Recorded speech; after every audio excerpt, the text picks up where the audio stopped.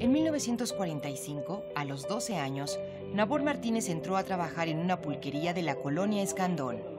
Hoy su negocio es de los pocos que sobreviven. Pues ya sabemos que nos vamos a morir a fuerza, ¿no?